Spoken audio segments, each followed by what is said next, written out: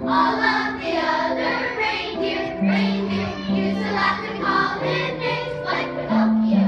They never let poor Rudolph, Rudolph, join in any reindeer games like Monopoly. Then one foggy Christmas Eve, Santa came to say, whoa, whoa.